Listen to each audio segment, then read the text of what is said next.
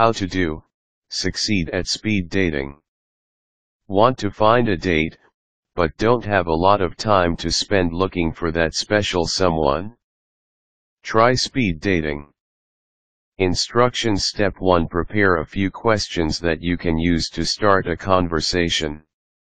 Think about the questions you might be asked, and work on your answers.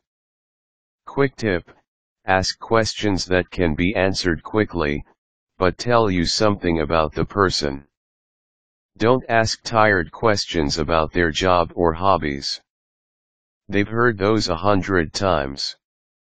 Be creative, but not weird.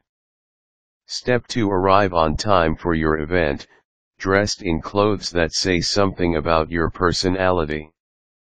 Don't try to look like someone you aren't.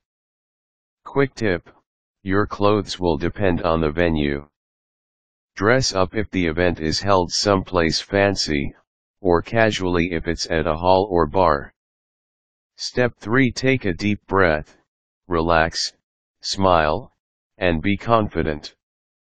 Don't go in with expectations or convince yourself that you have to find someone special tonight.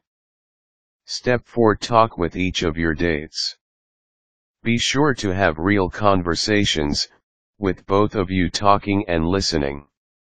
Step 5 Decide who you would like to see again, and let the event organizer know, usually by marking a scorecard that you've been given. Quick tip, don't take notes during the date. Taking notes about someone right in front of them is a sure way to make them uncomfortable.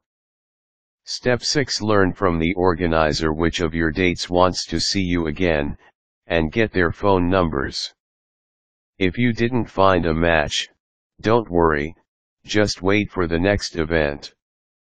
Did you know, speed dating, invented by a rabbi, is based on a Jewish tradition of chaperoned gatherings of young Jewish singles.